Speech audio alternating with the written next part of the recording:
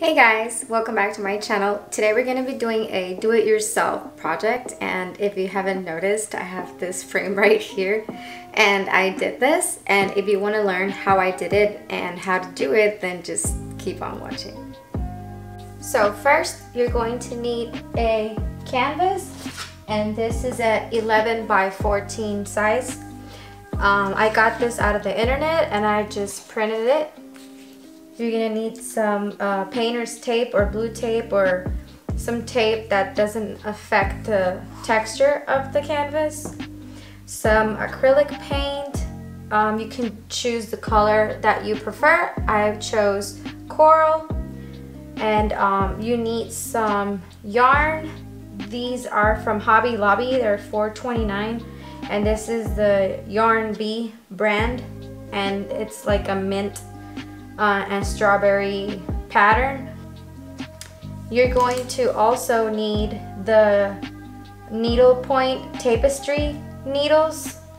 Um, I prefer these because the opening is bigger for the needle and it fits the yarn better. Also, you don't need this. You can use the holes with the needle, but I happen to have this. This is from the pumpkin carving set from Halloween and I kept it and it's good for what I want to do right now so I have it on the side just in case. Um, I'm going to use a paintbrush. I'm going to use this foamy one but you can use any one of your preference doesn't really matter. And then also just some plastic where I can put the paint and work with. And that is it for materials that you're going to need so let's get started. So I want to put it in the center, but this edge with this edge, not in the center like this, but in the center that it creates a straight line from corner to corner. And it'll look like this.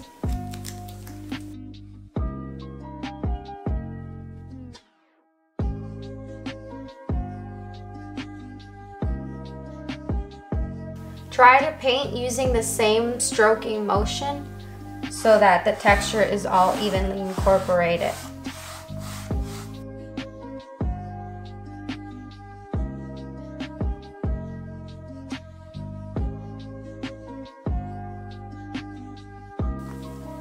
Now that we have finished this part, you want to paint around it so that when you hang it, there's color here too.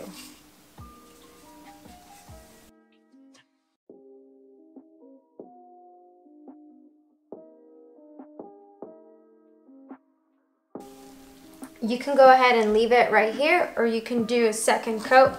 I want it to be a little bit more coated so I'm going to give it a second coat.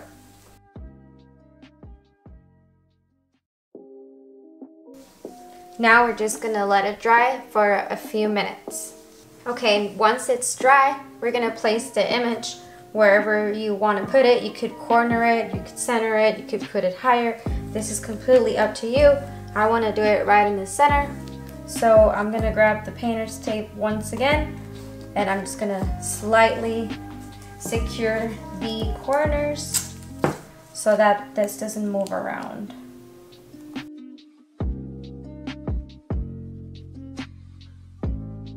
And now with a small but thick, this is what it looks like.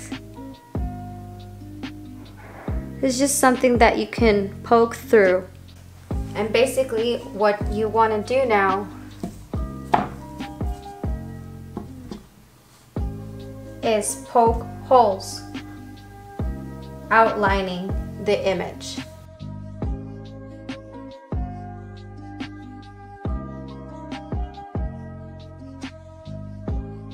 Make sure that you did all of the outline.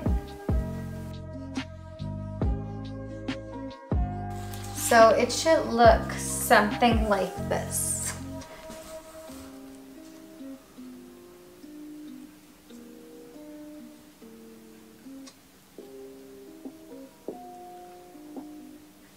And now leave the image nearby so that you can, if you get lost, you know what comes next, like the next step. So you can put it to the side for a guideline. And now we're going to continue. I'm gonna start right here and continue do this whole face in white and that's gonna be my first face.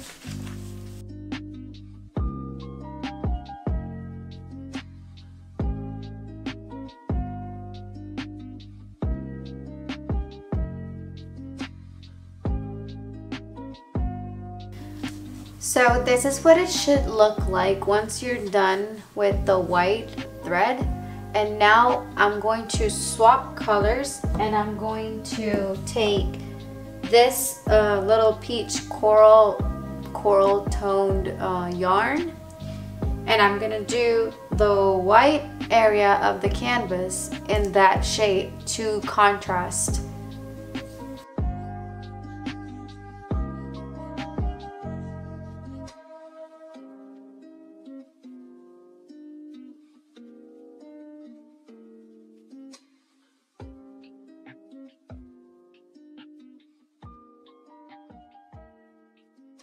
Um, for the most part, this is what it will finally look like.